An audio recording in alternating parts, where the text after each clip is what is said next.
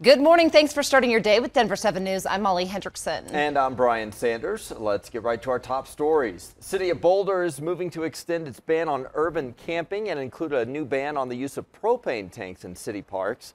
The city says there have been several safety issues connected to homeless encampments over the last year, including propane tank explosions. City Council will discuss that measure today. Today, Lone Tree's City Council will consider repealing its ban on specific dog breeds. Right now, several types of pit bulls are prohibited. The proposal up for debate would instead focus on individual animals and their behavior. If approved, the city would continue to enforce parts of the current ordinance banning the possession of a vicious animal or an animal that creates danger. If you're headed to a Rockies game this evening, or if you'll be near Coors Field, you have the opportunity to get a free COVID vaccine. The Rockies are partnering with UC Health to host the Vaccine at the Plate program.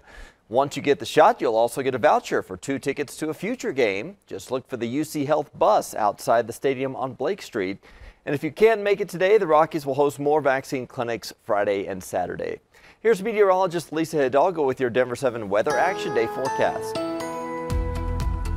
Yeah, it's going to be another hot one. Yesterday was sweltering. We hit a high officially of 98 degrees on Monday. Today's going to be, well, even warmer. In fact, some record breaking temperatures. It's extremely mild out there right now. Comfortable, but it's also only 4.30 in the morning. We're looking at temperatures in the low 60s near Littleton, 67 in Centennial, and near 70 in Denver. So it's, it's pretty warm for this time of year and for this time of the day. Take a look at the warm up, though. We're likely going to be at about 90 degrees as early as noon as lunchtime and then hitting some triple digit heat this afternoon. Denver today a high of 100. Same thing in Fort Collins, even a little warmer in spots like Greeley, Grand Junction 104.